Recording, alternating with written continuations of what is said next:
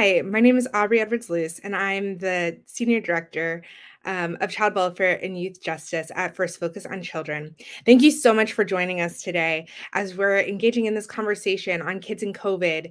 I am delighted to be joined with uh, a fantastic uh, cast of, of panelists. Um, but first, let me introduce my co facilitator today, um, Tony Parsons, who is the Federal Policy Specialist at Youth Villages. Hey, Tony.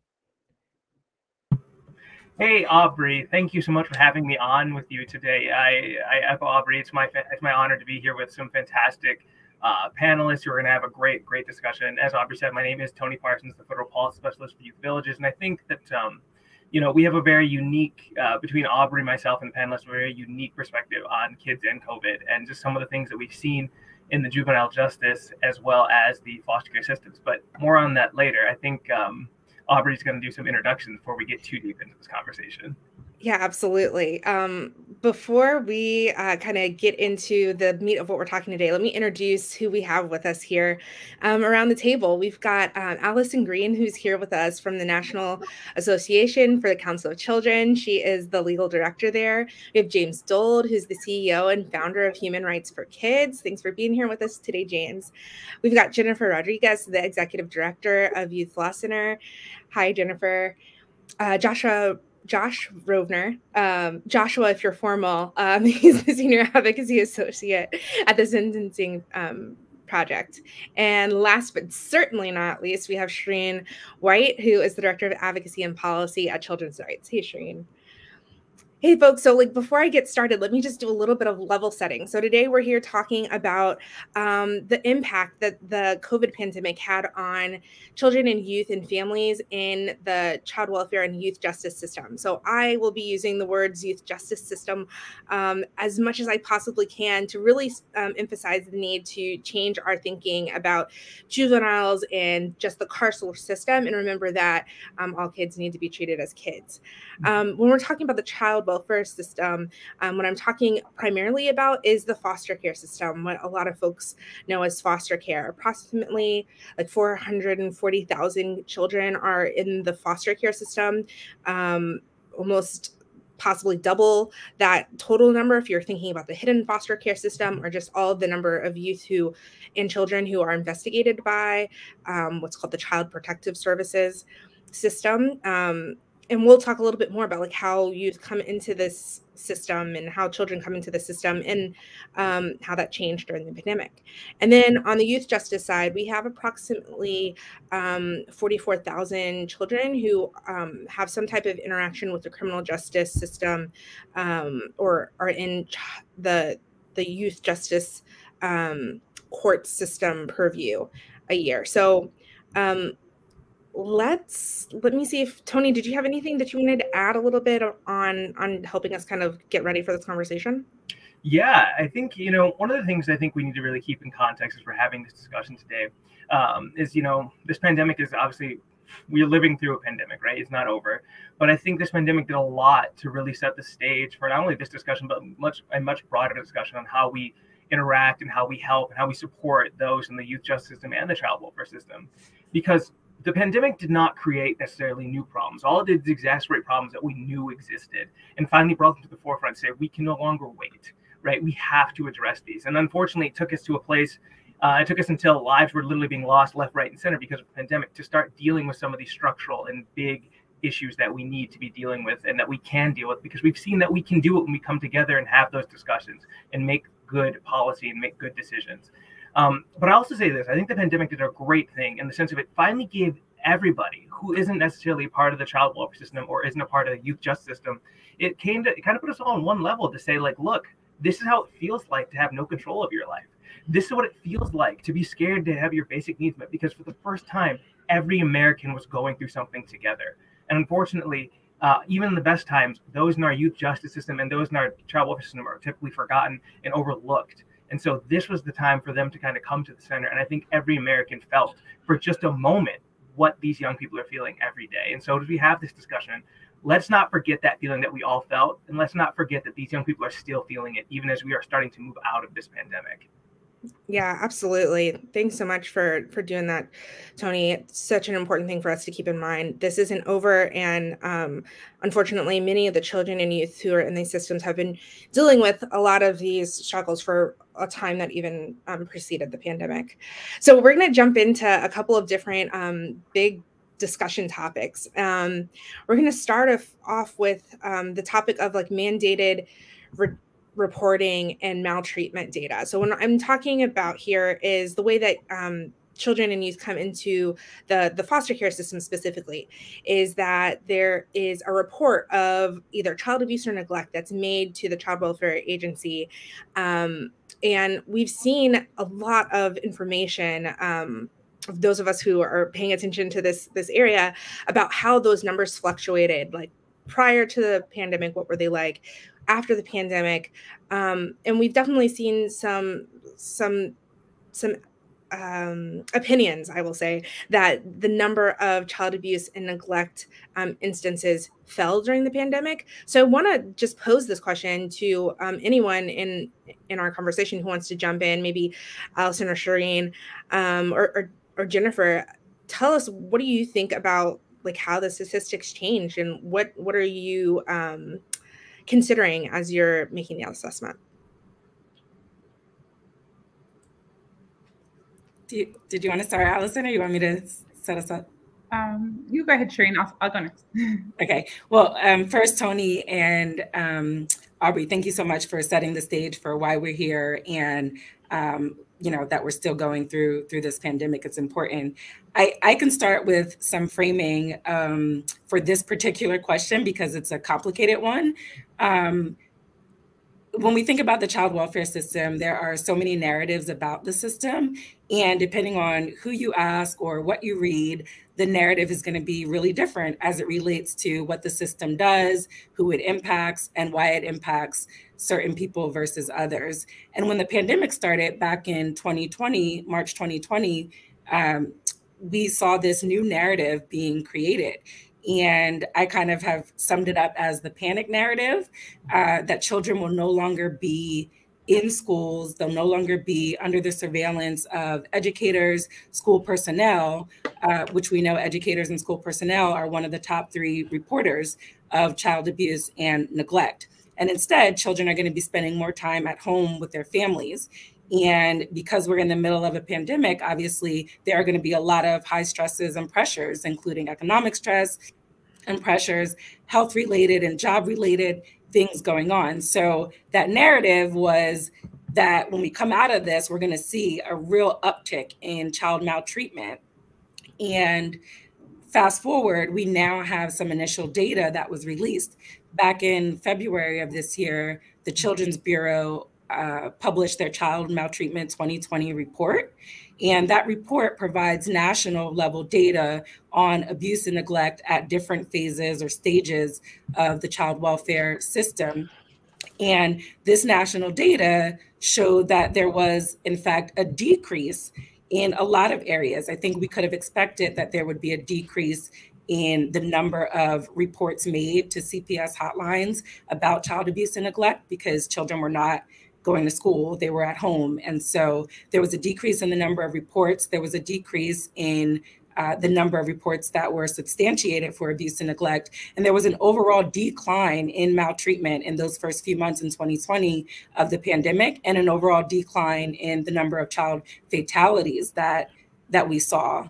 So that's on a national level overall data. And then I think when you look at the state level data, there's a mix. There are some jurisdictions that are assessing their data now and finding that their data is very much in line with national data, that there is a decrease in the number of kids in foster care. For example, I think in Oregon, in New York, um, New York did an entire series about the data that they've been able to look at thus far in terms of uh, number of children impacted and by child abuse and neglect um, during the pandemic. And in New York, just at like at the national level, all of those numbers went down.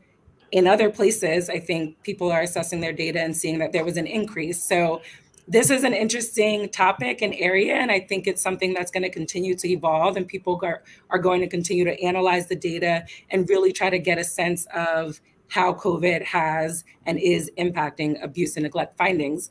And I'll add one more thing, which is that, you know, during this time, we've really met the challenges of the pandemic with some really key and critical supports for children and families which also may be impacting these the data and the numbers we see. And it's important to keep those things in mind. For example there was a whole moratorium on evictions and we know that there are so many people that enter the child welfare system because of lack of housing. And during the pandemic, families received um, economic impact payments and the child tax credit. So there were a number of things um, that came together to really benefit children and families during this time as well. Yeah. I don't know if Allison or Jennifer want to add something. Oh, sure, you covered so much of it. Um, I think obviously the data is still emerging and experts are trying to draw broad conclusions that are difficult to draw. However, um, as Shereen noted, the federal data and some local data really does show that those initial predictions that there was going to be an extreme spike in child abuse, or that when schools reopened, there would be this giant rebound effect uh, with kids coming back um, into schools and being called in and removed into care. Those fears didn't pan out. And so now, two years later, where does that leave us as, as a child welfare community? I think it, it should prompt some reflection about why those were why those were initial responses and those initial responses were so readily picked up in the media. Um, and how those responses may have inadvertently caused more fear in, in families. Uh, if you're a family and you're seeing a narrative that children are not safe in their home how does that lead you to want to reach out when you, you, you may need help so I think this is just a good moment of reflection two years later to look at some of this data, some of which is included in the resources uh, for today's session, um, specifically the maltreatment report from ACF, which Shereen noted, um, Anna Arons's article on uh, New York City, um, and some research from Dr. Allison Stephens and Robert Sege. Um, so I would encourage everyone to look at those, evaluate them, and also try to reflect about what, what were our initial thoughts conceptions or even misconceptions about what would happen when the old way of being stopped being. And and where might we have been wrong and have room to grow in our own thinking because of that? Yeah. Thanks so much for for that allison and shereen um, i want to pull in some of our um, youth justice system experts too.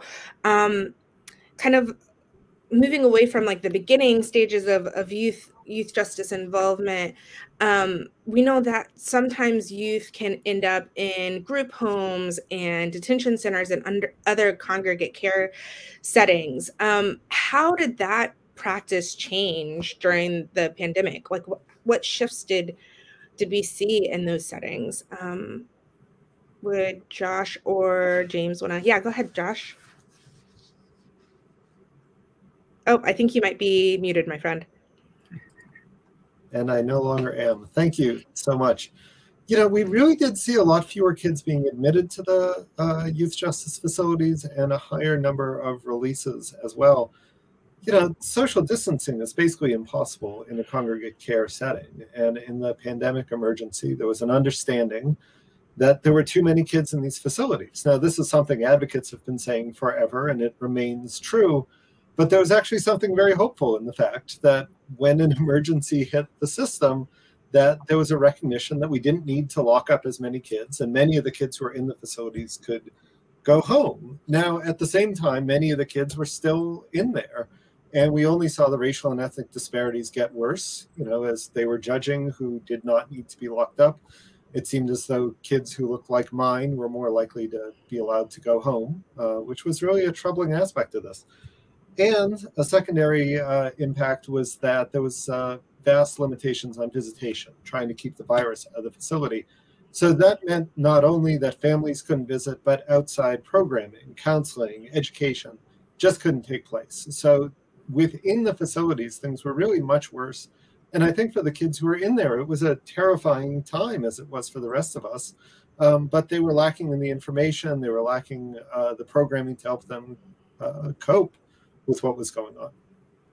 Yeah, yeah.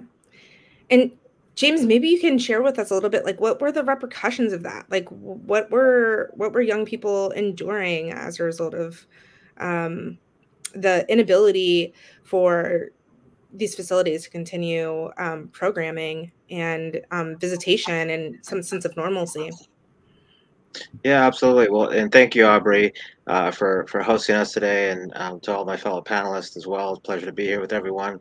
I think it's also important to set the stage too when we're talking about youth in the justice system. I think for for so many of us who operate in the space, you know, there was this sort of dismay that I think a lot of us felt in the beginning of the pandemic because so much of the rhetoric that was coming out was really focused on what people termed, you know, the most at-risk communities from COVID-19, and and uh, because some of the early data seemed to indicate that children weren't as severely impacted by the virus, uh, more uh, community communities of kids that were more at risk were kind of left by the wayside, right? And uh, that's something that we had to try to push back on very early on in the pandemic. This notion that you know youth who were in secure facilities or in uh, group home settings weren't at risk uh, from developing complications from COVID-19. And we know that's the case because we know that, you know, children who have high ACE scores or have been exposed to severe amounts of trauma um, tend to have uh, greater complications in the health setting, right? So we know that when we look at youth in particular in the juvenile and adult criminal legal system, they have higher incidence of diabetes, asthma, pneumonia, uh, suffering from hypertension. All of these things exacerbate uh, what happens with the virus. And so there needed to be a lot of public education on the forefront. And what we started to see was, you know, to your question, um, you know, the evaporation of of these basic due process protections. So we saw parents and children in these situations where they were having to kind of face this Sophie's choice of sorts, where it was like, you know, you can either plead guilty or admit that you know there was some sort of wrongdoing, forego your constitutional rights uh, in order to you know be released from a detention facility, you know, pending the outcome of your case, uh, or um, you know, roll the dice and see what happens if you end up getting sick uh, from COVID-19. And for a lot of kids who had some of these severe uh, uh, health afflictions, like severe asthma and whatnot, that was a very terrifying prospect for a lot of kids. And so we saw parents and their children being faced with, you know, these very, you know, terrible uh, decisions, as it were. Um, and then there were some parents and children who really had no choice you know, particularly for youth who were charged as adults who were being held oftentimes in adult facilities, uh, sometimes in violation of, of federal law, like the Prison Rape Elimination Act, uh, being stuck in a situation where, um, because they were facing serious charges in adult court, they, you know, there was no uh, remedy to try to get those folks home, um, even though they hadn't been convicted of a crime. And so that was, you know, I think in my mind, one of the big points that really jump out to me as far as the the evaporation of these constitutional rights that that you know are in place for youth. And there was a huge backlog that happened as well. It was it, ironically, as a quick side note, I was actually serving on a jury in the District of Columbia at the point when the pandemic broke out, and so I saw sort of firsthand how uh, the entire legal system sort of came to a screeching halt.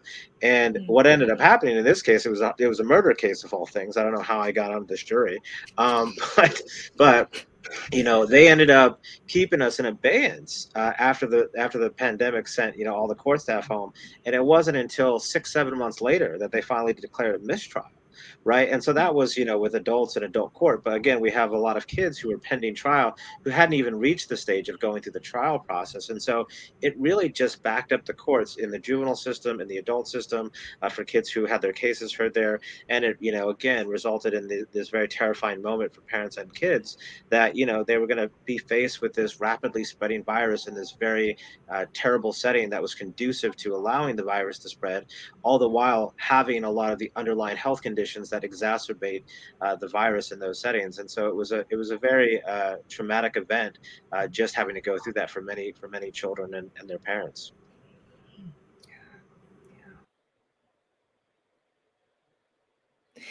Yeah, that's um that's so hard to hear and I and, and so hard to see. I don't Jennifer, did you want to weigh in on this too?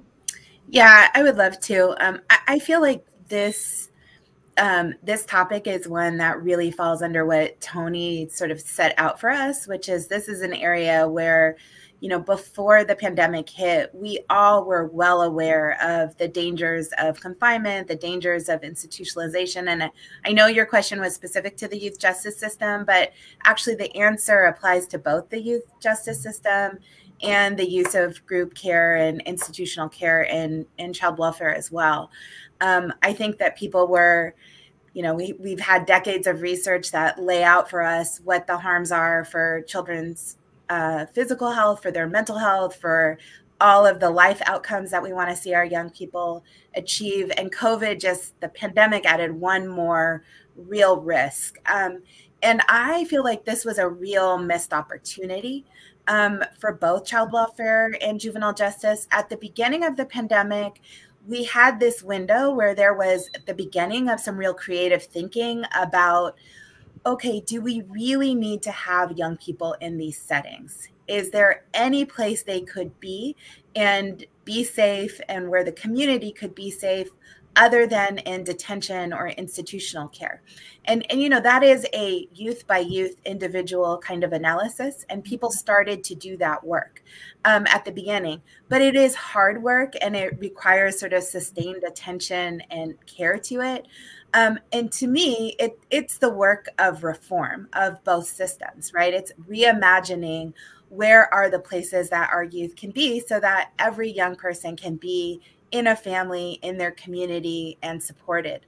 Um, so we we started to do that work, and and I I just want to echo what um, what both Josh and James were saying about sort of the the context that we were doing that work in, because you know all of the problems that exist with detention and institutional care that this was nothing like what we had seen before. We saw young people placed in isolation and solitary confinement to deal with pandemic outbreaks for for days, in some cases months. We saw uh, staffing shortages across facilities. That meant that young people were not, you know, receiving food. They weren't receiving care. Nobody was monitoring um, whether they were okay or not um, all of the, those lack of access to services, these are already young people that are isolated, and that problem got so much worse.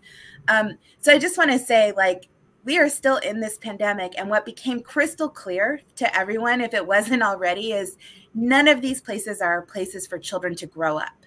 Um, and so, whether we're talking about um, an ongoing public health disaster, or I'm here in California, and we had a whole series of climate related disasters that I think we can be sure are going to be part of our futures moving forward, where people had to evacuate. I think everyone got the message that the future really requires us to navigate with family, with community, and that's just not possible for youth who are in an institutional setting. So we as a system have to do better. And and I think that's really important because the systems were under such strain um, during the pandemic that what I have seen happen across both child welfare and juvenile justice is a real regression um, towards the, the sort of headway we were making to say, let's end the use of incarceration, let's end the use of institutional care. I mean, systems are under strain, and so they sort of reverted back to we just need beds. We need beds and places to put children, but our children are not going to survive the next coming decades with that kind of treatment. Um, so there was a missed opportunity. There's much that we can learn from for those youth who um, we developed diversion from the system successfully, for who we were able to place with either their own family or an alternate family in their community, and the youth who we were able to be creative and say, do they really still need to be in institutional care? Do they still need to be incarcerated? Or is there a place that they can be out in the community? Those are the questions we need to keep asking ourselves moving forward for every single young person. Yeah, I definitely agree with uh, with that, uh, Jennifer. I think there's a lot that we're going to take out of this pandemic if we ever get out of this pandemic and get to whatever this new normal, I guess we'll call it, will be. Um, and I think one of the greatest areas that we've really learned a lot of lessons, both positively and negatively, um, has been in our legal system itself and, and how we conduct court proceedings as it relates to young people uh, in the youth justice and, and, and, the foster care system. And so I want to talk, you know, to, to some of our lawyers here. We are blessed to have a lot of lawyers on our panel, to someone who wanted to be a lawyer at one time. Uh, not so much anymore, but we'll talk about that another time. I would really love to know your, your all of your thoughts on like how do we think that you know the, the pandemic really impacted court proceedings, both positively and negatively, right? I mean, we can't say everything about the pandemic is bad, although it was. Um, there have probably been some positives to come out of this. So, you know, to my lawyers out there, or those really who work in the legal system, if you're not a lawyer, you know, what have been, what has been the impact of the pandemic on our legal proceedings? Um, you know, both from a positive and a negative perspective, and then you know, are the things we should be taking forward with us as we adjust to whatever the new normal is going to be in this country?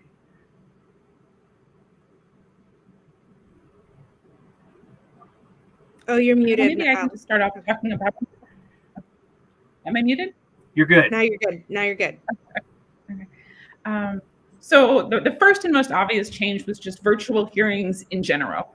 And now that certain places are coming back, many jurisdictions are working through this open question of are virtual hearings a part of our future? And I've heard many people ask, like, are these a good thing or a bad thing? And my take on it is they're not all good or all bad.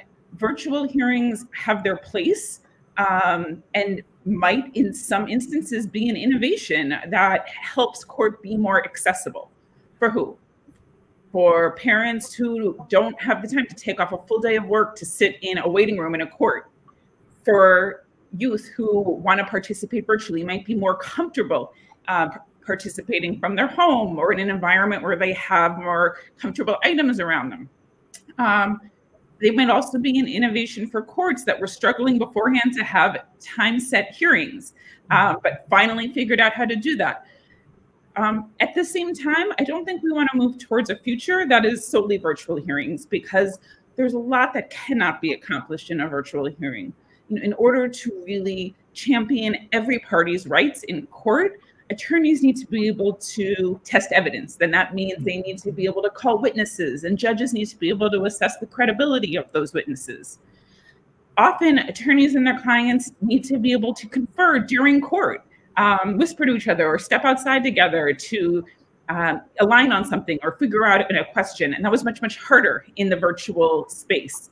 Um, so, looking ahead, I think this is going to be another time for us to think critically about not treating every family the same, not treating every child the same, but working through it on a case by case basis. And longer hearings, hearings that have are evidentiary in nature, should probably all come back in person. Um, but there may be times where review hearings or shorter status hearings can be accomplished virtually um, and may be more accessible to families to be uh, done virtually. Um, in fact, this might be a way to accelerate return home for youth um, so that when a child returns home, it's as soon as it is safely possible for them to do so, not because they're just waiting around for the next court hearing, which isn't scheduled for a month or two months, um, but really scheduling court events around the youth um, rather than around the system.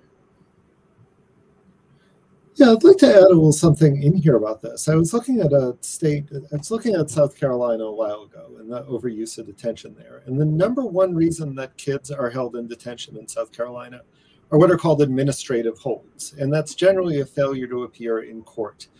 Um, now, when I have a dentist appointment, my dentist pesters me six or seven times, you know, via text message, email, uh, every way that they can reach me. The idea that we can have kids appear in court this way could make a huge difference in reducing the use of detention. Um, certainly, South Carolina doesn't have to do it that way, but they do. Uh, so I do see some potential there to, to decrease the use of detention, and uh, I hope that that will continue. I, before we leave this question, I, I want to jump back to child welfare. And one particular proceeding, court proceeding that I want to lift up is um, the termination of parental right hearings. And what was going to happen with those hearings in the midst of an of a pandemic, right? Were states just going to keep moving forward business as usual and, you know, long-term separating children and families even in the midst of um, difficulty accessing services, um, meeting whatever the case plan goals were, um, a lack of visits.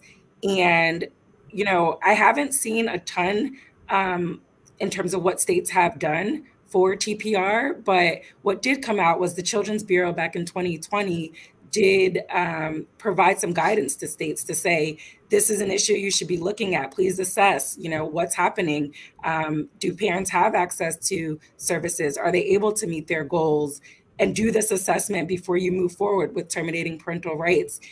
And rep. Gwendolyn moore on uh, the federal level rep. Gwen moore she introduced a bill legislation that would stop the TPR timelines and put a pause on them in the midst of the pandemic. And that legislation didn't go anywhere. I, I tried to do at some point some research to see if any states enacted policies or changed, you know, practices uh, as far as TPR was concerned. And I think that there were probably a mix of state reactions and responses, but I haven't seen anything super specific. But I wanted to lift that up that you know, that's one proceeding, court proceeding, where some people may have had their parental rights terminated in the midst of a pandemic, and maybe other jurisdictions were more sensitive to what people were experiencing during this time.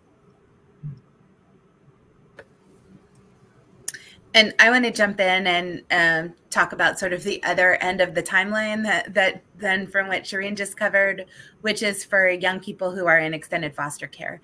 Um, and I think this is a group of, of young people that really falls under what Allison mentioned earlier around, you know, this this actually ended up being an innovation um, for many of them. And again, it did require, at least in California, one of the very first actions that was taken was to make sure that every single young person in foster care, child or youth, had access um, to a device and access to internet across the state. That was sort of like pandemic action item number one. Um, and we were able to do that through executive order and coordination of a number of public agencies and private agencies through the state. And I think this is a perfect example of the kind of um, sort of change moment that the system was forced into, both foster care and juvenile justice. I mean, we know internet is basically a utility at this point. We rely on it for everything, but there was real hesitation in both systems to giving young people access. I mean, in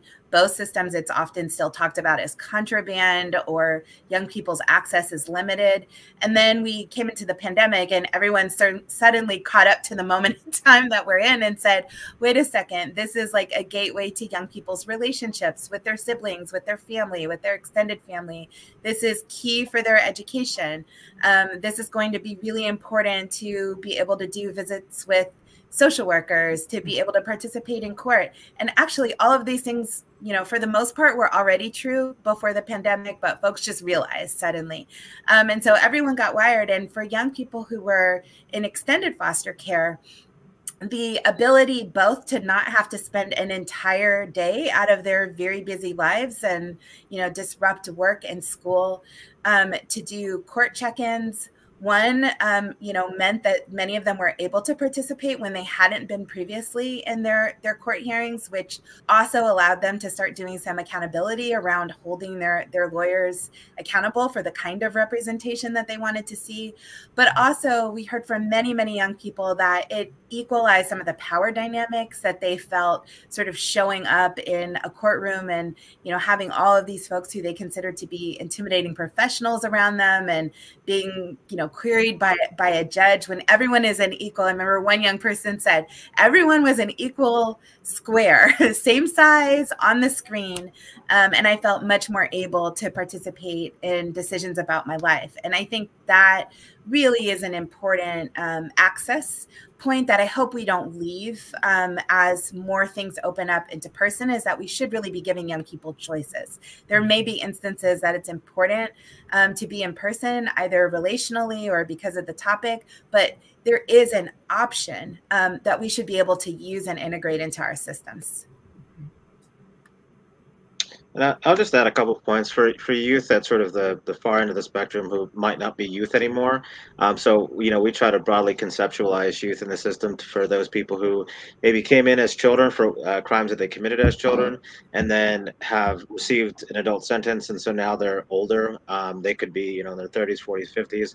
One of the populations I think a lot about here is the juvenile lifer population, and in recent years, uh, a number of states have enacted what are known as second look reforms, and uh, those are essentially reforms that allow uh, either the parole board or through the, the courts, uh, lawyers to come in and file motions for a sentence modification. And so I think one of the things that's really been useful in that context is innovative lawyering that has allowed folks to bring in expert witnesses that they might not have been able to bring in before uh, because they're in different parts of the country or allowing families to participate virtually through those hearings that they otherwise wouldn't have been able to do because they have trouble uh, uh transporting to and from uh, the circuit or district court wherever they might be located. So I think that, that that's been one real innovative process that's that's happened during the pandemic. I also want to talk about youth who are um, you know in who were in juvenile detention facilities or were committed uh, uh, to the state. I think one of the things that was sort of a bit of a hodgepodge as we sort of the, as the pandemic got going was, you know, how state courts were going to really respond uh, to this moment. And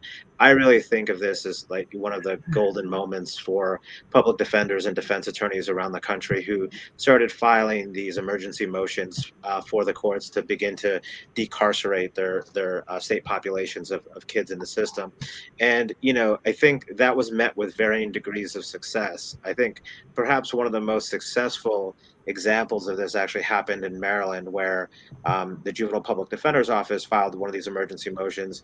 It was denied by the Court of Appeals. However, the Court of Appeals subsequently, about a week or two later, issued significant guidance to the lower courts, which uh, drastically ended up drastically reducing the number of kids who were in commitment and detention. And so, you know, roughly two thirds of the kids in Maryland had been in for uh, misdemeanors or um, or, um, uh, probation violations. And what we ended up seeing was about a 40% drop in overall commitment and detention of youth as a result of uh, the specific guidance that was issued by the Court of Appeals, and that was that uh, you know essentially encouraging lower courts to to not use uh, detention or commitment unless the child posed a threat to public safety, and then the other requirement being that every two weeks or every 14 days, uh, courts were required to go through um, another hearing to determine whether or not uh, the child's uh, continued detention still served public safety interests.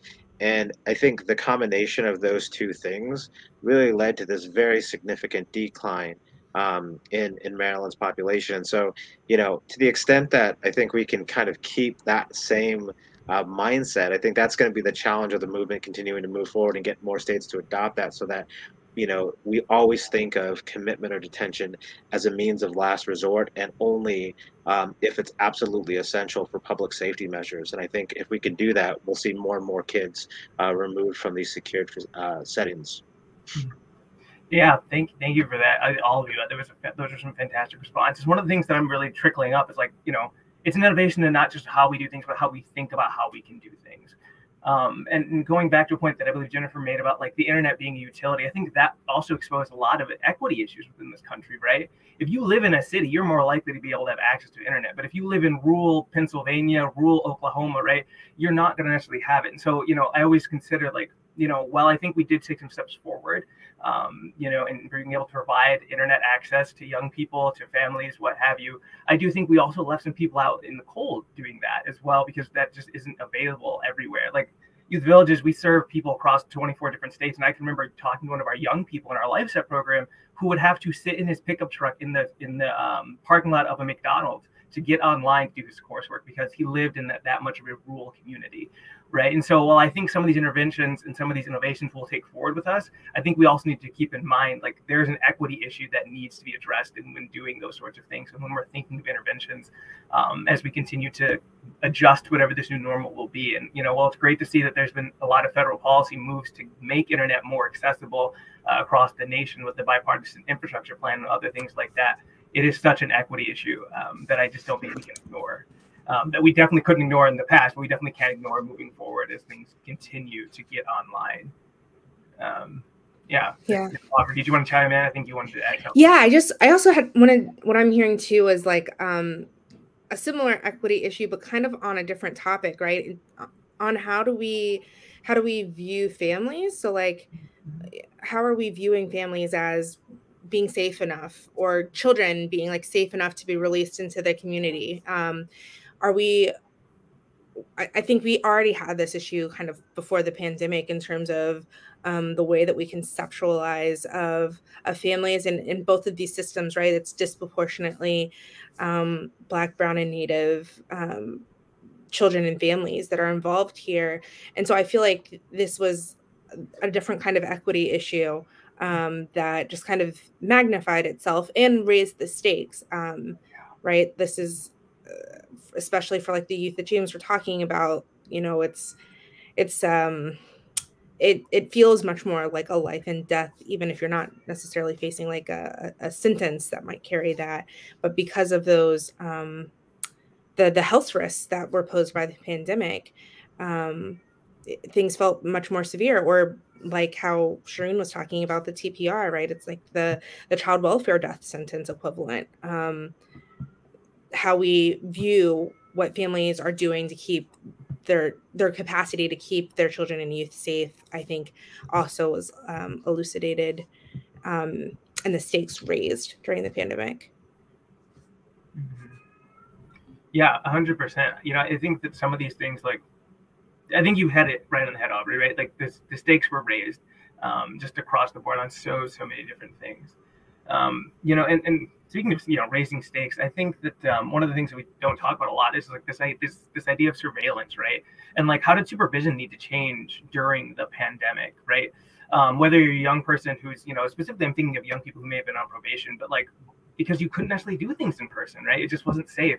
But the stakes are so high, we don't want to see young people slip up. We want to make sure they are getting the supports they need.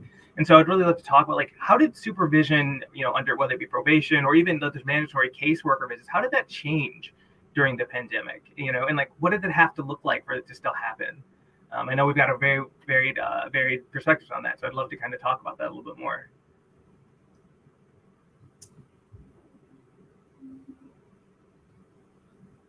You know what? I think I'd like to chime in here one aspect of this. It's just important to realize the extent to which probation for kids is just a trap that puts them deeper and deeper into the system you know, Maryland is coming closer to changing its law, but right now kids get put on indefinite terms of probation.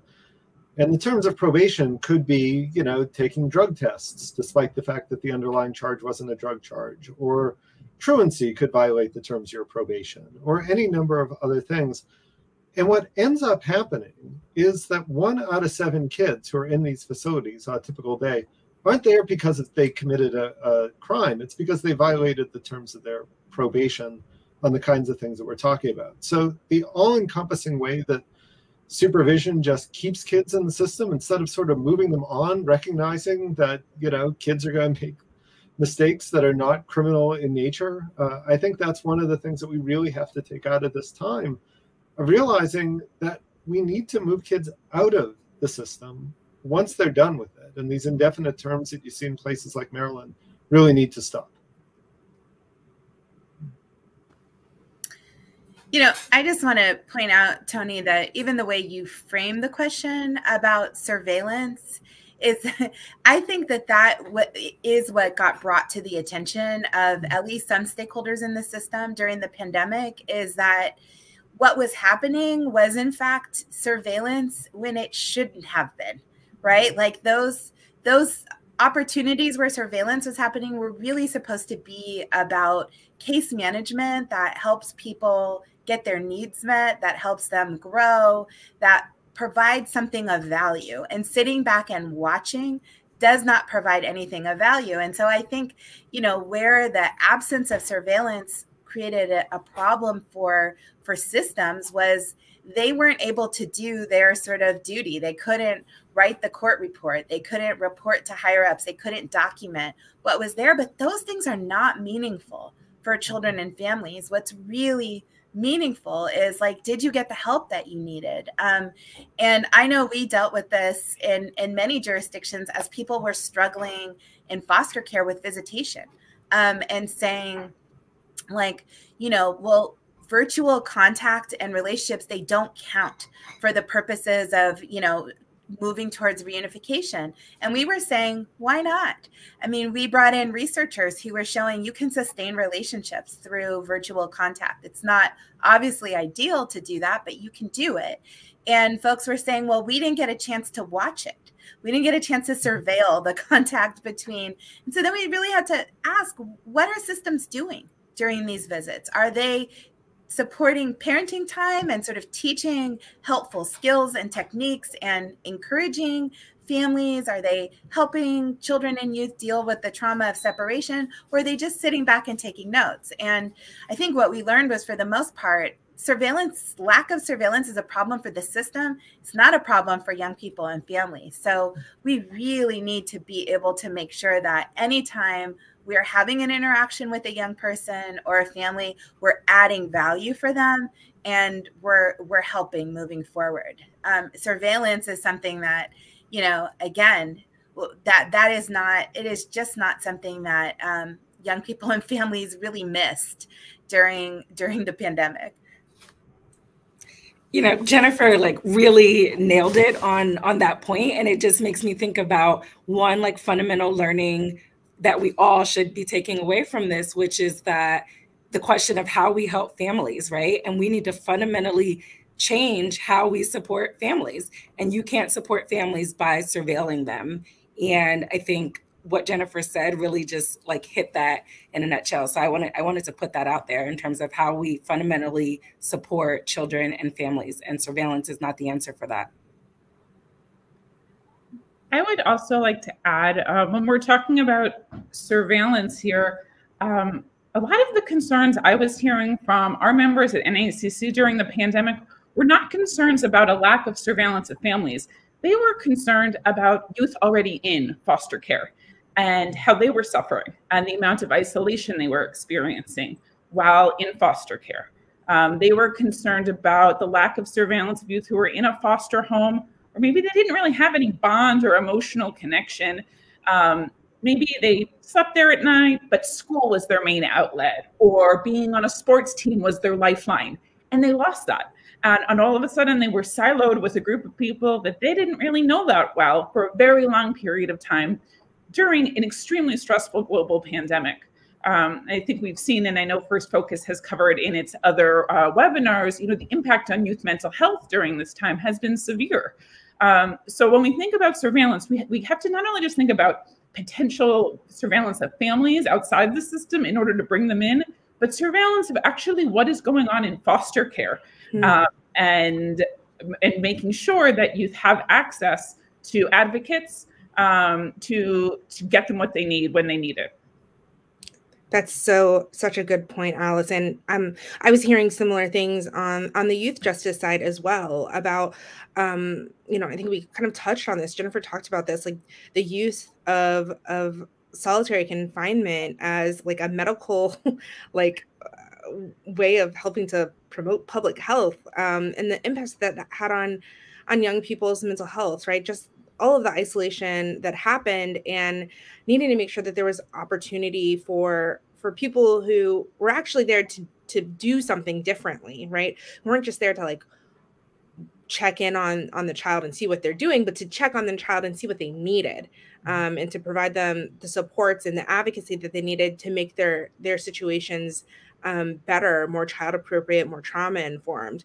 Um, the pandemic had a had a big impact on that um, as well. But um, despite that, you know, young people were doing amazing things to to elevate mm-hmm. um, what was happening to them and and what it was that they needed. And I was wondering if folks wouldn't mind kind of elevating um, as we're kind of coming to the last 10 minutes of our time here. Could you share with us um, what was something, what are some examples of, of youth advocacy um, that happened during the pandemic? Um, how did how did youth overcome um, such so much difficulty, so many challenges? Um, how did youth and their families, you know, make a difference um, for themselves during this time? I can jump in here. There's a, there's a couple of examples that come to mind that, again, I think were, were helped and facilitated by some of the technological changes that that we saw. Um, but last year, there uh, the U.S. House Crime Subcommittee, uh, that's chaired by uh, Congresswoman Sheila Jackson Lee, had uh, one of the first uh, juvenile justice hearings in quite some time. And there's a number of speakers, including Bryan Stevenson from the Equal Justice Initiative, Marsha Levick from Juvenile Law Center. Uh, one of the speakers was also a young man who was incarcerated um, in Washington State. And it was, we believe, the first time ever that somebody who was currently incarcerated um, as a juvenile had the opportunity to testify uh, before Congress remotely. And even though the substance of the hearing wasn't necessarily focused on the COVID 19 pandemic, uh, it was still an incredibly empowering event to hear this young man who had you know been accused and convicted of a serious crime describe for members of the committee you know the effective services that he had received that really helped him you know turn his life around and you know get on a on a, a, good path and do incredible things since he had been incarcerated. So much so that he had been invited uh, to testify before members of congress which was quite incredible right? And so i think the use of technology in this way and and being able to elevate the voices of directly impacted youth has been incredible. And then more directly to the point on on um, the pandemic one of the most inspiring events that i was a part of back in 2020 uh, was an event that uh, was put together uh, by a number of folks at the Justice Roundtable, um, group that's run by a woman, uh, used to be run by Nkechi Taifa. It's now run by Cynthia Roseberry at the ACLU, um, and Kemba Walker, who um, uh, also is directly impacted herself. And one of the things that uh, we were able to do during that was get a panel of uh, powerful speakers uh, in place for Speaker Pelosi, uh, Leader Hoyer, a number of other members of leadership um, in the Democratic caucus in the House. And one of those members happened to be uh, the mother of a young man. He was a 16 year old who was incarcerated, who, who in, in the state of Maryland, uh, in violation of the Prison Rape Elimination Act, he was being held in an adult jail in an adult a cell with with a 40 year old man, um, and he also suffered from uh, a serious health affliction. And, you know, there was nothing more powerful, I think, in that entire hearing uh, with the speaker and others than for them to hear directly from this mother who was absolutely petrified of the fact that, you know, her son was in this adult facility um, with, a, with grown adult men and that he suffered from the severe illness that had killed his father uh, a year before that. And so, you know, it, it, as a result of that and her incredible testimony, uh, what came about of that was the the inclusion of every single ask that the juvenile justice community had uh, of Congress uh, in the U.S. House uh, passed HEROES Act, right? And so that included funding for decarceration efforts, encouraging states to remove more and more kids from uh, from their facilities. And even though that ultimately did not get a hearing in the Senate, uh, the, you know, it did form the basis of subsequent legislation that did get funding uh, to the states. And so, you know, it was examples like that of just incredible courage on the part of both parents as well as the kids to tell their stories in a way that was just very profound for members of Congress.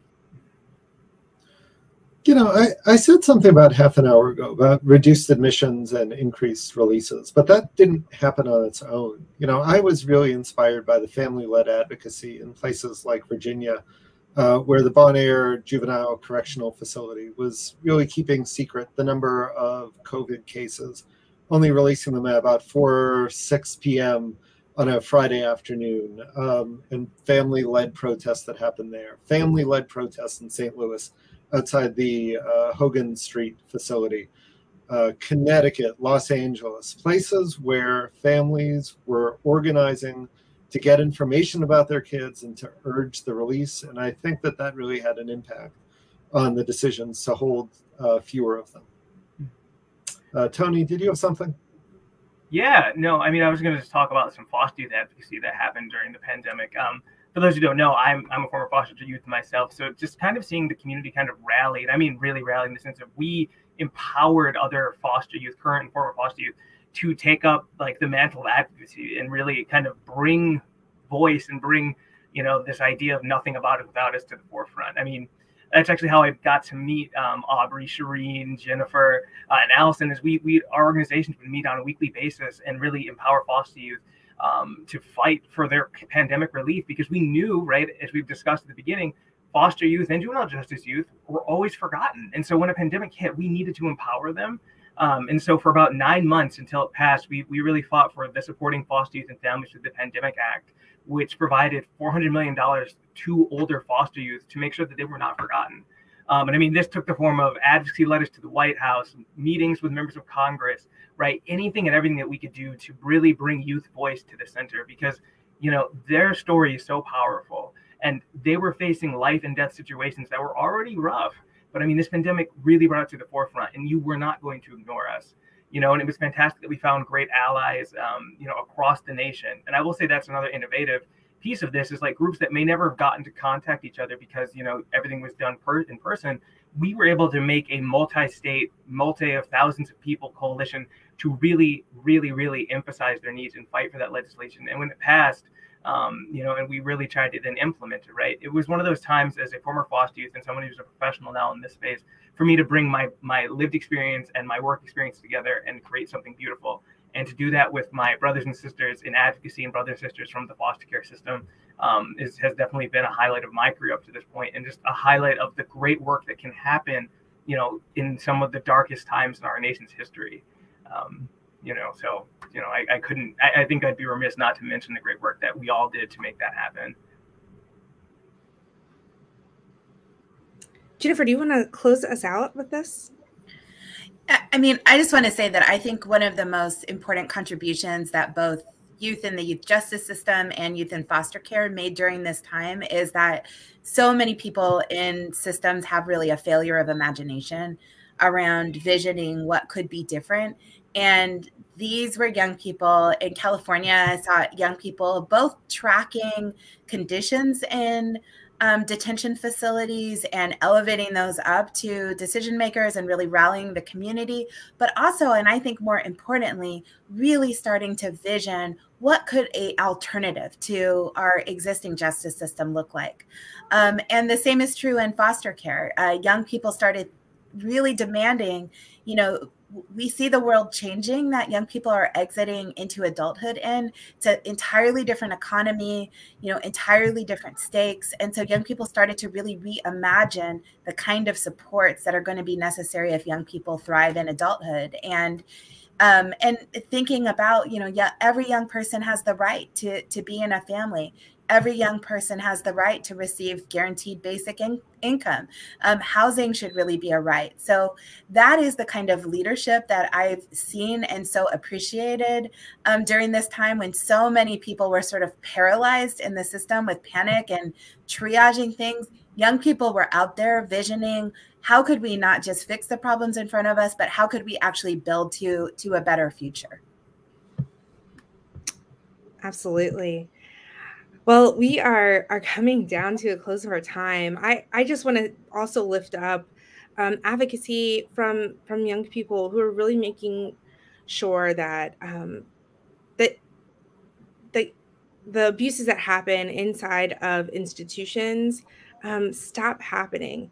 Um, there was so much work that was done, especially I'm thinking um, in the wake and in the remembrance of Cornelius Frederick, who was a, a, young man who was in foster care, who passed away and had COVID and was in a, a in a institutional setting. Um, I'm thinking about um, youth advocates like Uvea, who um, advocated in, in October here in DC to to push for um, changes. Right, I think it's just another example of, of, young people saying, you know, this is what we need. We need to make sure that we're protected, um, and and stepping up and and making their voices heard. Um, so there's just so much so much inspirational advocacy that we're happening from from young people that really, I mean, for me, just like really fueled um, me to keep keep in the fight um, as we were um, going through the, just the, an unprecedented time. Um, so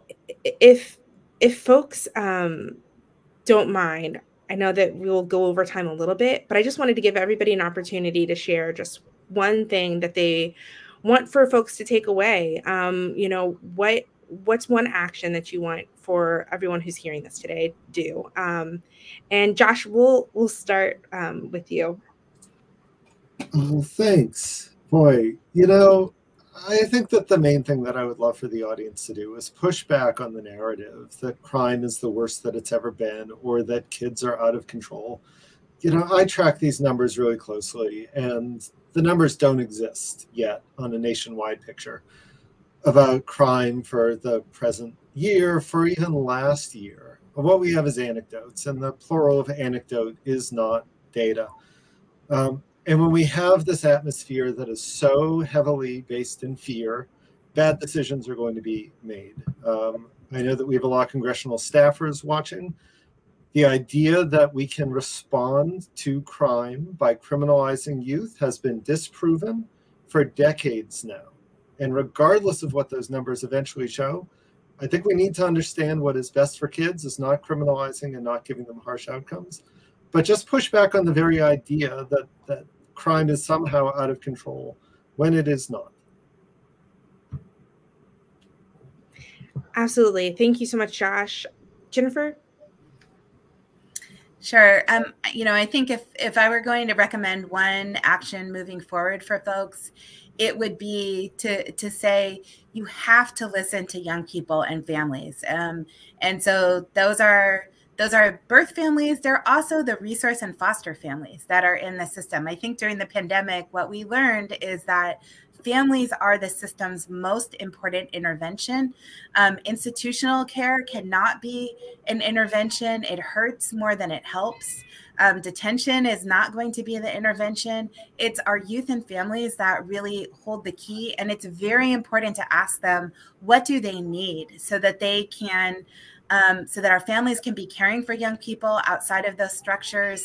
And I think that like you heard today, some of the answers that you're going to hear are not actually the typical answers. They're not, we need more therapeutic care or sort of heart a deep end invasive treatment, but they're going to be very basic things. Like we need to make sure that there's access to extracurricular and art and cultural and sports activities and funding for, for those kind of um, things. We need to make sure that when there are people who are system folks who come into our life, that they are there to habilitate, they are there to help, they are there to actually listen and respond and not just surveil. Awesome. Thanks so much, Jennifer. And thanks for being here. I know that you need to hop off. Thanks for being with us today. Um, let's let's go to James.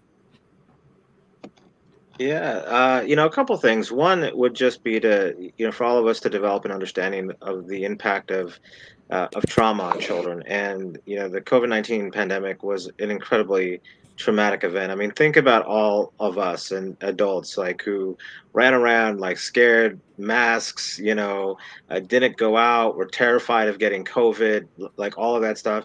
And then imagine the kids who were in these facilities um, who didn't have proper PPE, who didn't have the ability to socially distance, and you know, particularly those with underlying health conditions and the, the fear that that you know really instills in them. And so those were traumatic events. And you know, Bryan Stevenson in his remarks last year talked about the fact that there's an epidemic of childhood trauma in this country and when there's an epidemic of childhood trauma, oftentimes what that leads to when it goes unaddressed or unmitigated is that children act out. Um, and so when we encounter youth in the juvenile or criminal legal system, it's really, really important that we understand the root causes for how those kids ended up there in the system. There are no bad kids. Uh, no child is born bad, as my good friend Xavier McElrath-Bey at the Campaign for the Fair Sentence of Youth likes to say. Um, there are bad things that happen to children, and then they act out as a result of that. And so that's a significant part of that. And it's important to really uh, root everything that we do in that recognition. And then as a tangible action item, you know, I, you know, Aubrey and, and us, along with uh, a number of other folks, are working on a, a number of reforms that are currently pending in Congress um, including uh, the Abolishing uh, Trafficking uh, Reauthorization Act that was just introduced yesterday by Senator Cornyn and, and, Senator Klobuchar, has a number of important juvenile justice reform provisions in place for kids who've experienced trauma. There's a package of House bills including uh, Congresswoman Karen Bass's Childhood Offenders Rehabilitation Act. Um, there's so many reforms that you could go to either one of our websites, and we have information up there. If you're a staffer on this call, I'd encourage you uh, to uh, have your boss sign on as a co-sponsor to these bipartisan legislative reforms, um, and and really prioritize kids as uh, we move through uh, the next phase of this pandemic, particularly kids in the in, in the juvenile justice system. Awesome, thanks, James. Shereen. Thanks so much, Aubrey. Um, I think one point that I just want to leave for people to continue to reflect on was something that I mentioned uh, during the discussion, which is we really need to think about surveillance and we really need to think about the ways in which we show up and support children and their families. And we can't support children without also supporting their families. Um, and so I would just encourage people to think about surveillance, mandated reporting, and what needs to change. And I'll also lift up a resource that I think everybody should look at, which is um, the Imprint had this really cool resource where they invited people who were in foster care and uh, former foster care youth to submit submissions about how COVID was impacting them. And they have all of these essays from young people, and they're spelling out how COVID impacted them as young people in foster care and involved in the system. And there are so many things put out there, and I think we all should read those and understand from the voices of those young people what they were experiencing.